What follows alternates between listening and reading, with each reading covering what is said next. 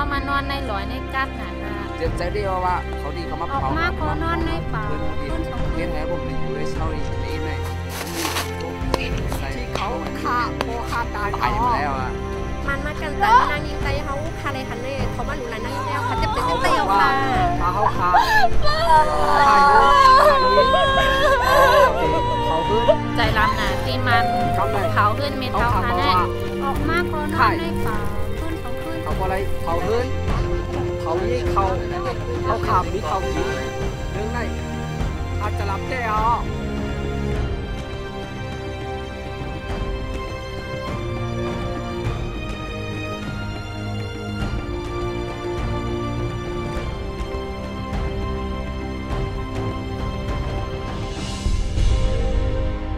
I feel like God has given me a real heart for poor people, disadvantaged and oppressed people, and the Shan are all of that.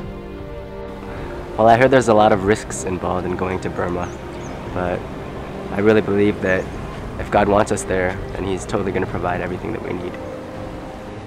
The Shan were once a great nation with lands spanning from North Thailand to northern India. In 1947, an agreement was made to give the Shan state the right to secede from an interim Burmese union after 10 years. That agreement was never honoured, and since 1962, Burma has been ruled by successive military regimes. ก่อนนั้นเพราะว่าหลังจากอันรัฐบาลพม่าจับเจ้าฟ้าไทยใหญ่นะอ่าไทยใหญ่ก็เลยตั้งกองกำลังขึ้นมาที่จะต่อสู้กับพม่า เขาให้ผมมาแล้วก็กลัวผมจะได้ไปเป็นไปเป็นอะไรทหารของพม่าไง And each one of them has a really interesting story to tell. I think any Shan person who has made it to Thailand has a lot of experience. You know, when we look at Shan, the thing that overwhelms you is the real sense of hopelessness in their lives. I mean, they're living in houses made of tin, and they're exposed to the elements, and they kind of move from place to place. Wherever the work is, that's where they live. The family structure is really falling apart in a way. Often the father is, is drunk and drug addict, and sometimes they beat, beat the children. There are people that are being dragged into prostitution or selling drugs just in order for them to survive. Um, alcoholism is very prevalent. Drug abuse is very prevalent. เมื่อข้าไปเป็นขี้ยานก็เพราะว่าข้าเป็นเพราะว่าอันที่อัมปอลีก็คือข้าเลยจับยาอันที่จับจ้อยนำหนักเอา You know, God put us there for a reason. We're right next to these people who have so many needs. Yeah, we just felt like the Lord was calling us to just try to build relationships with them. The students are motivated to learn. They're very slow learners. For a lot of them, they've never been in school before. อยู่บ้านไม่ได้เรียน ก็เรียนก็แค่ป .2 เหมือนยังไม่ได้เรียนเหมือนกันใช่ไหมคะ แล้วก็มาได้รับโอกาสตรงนี้อะไรอย่างเงี้ยค่ะ We have a school for 65 children. We actually want to, to have a bigger place, more children that can come and join us. We want to really encourage you to, to be involved in Boxes for Burma. And that's a way we use to get into a lot of communities and villages that we would have normally no access to. Um, we even take these boxes into the monasteries and give it to the novices. And if you just one time could see their faces when they get these boxes, they don't want to smile, but they can't help themselves.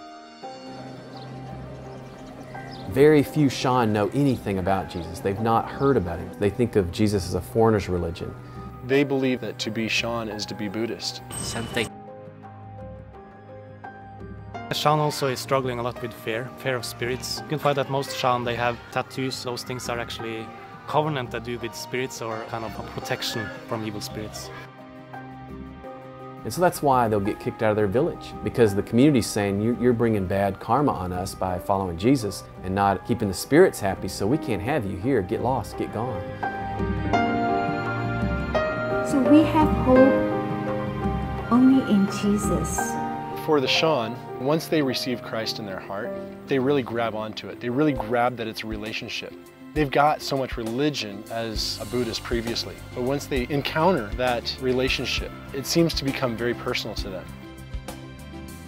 They have to see that this love we're talking about Jesus among the Shan is not just some philosophy or a nice idea, but this is real. This love is real. This God is real. We've seen that as they've gotten into that relationship that they want other people to know about their God.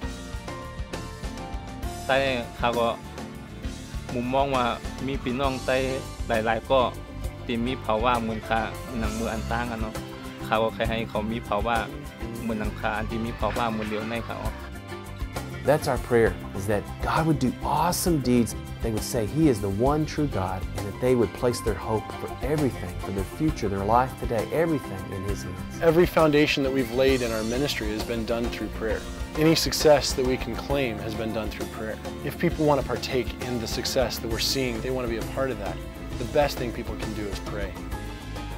You know, my prayer for them is that although they're a little resistant to the gospel right now, their hearts will be open to receive the only thing that can satisfy their needs. I want them to have that joy.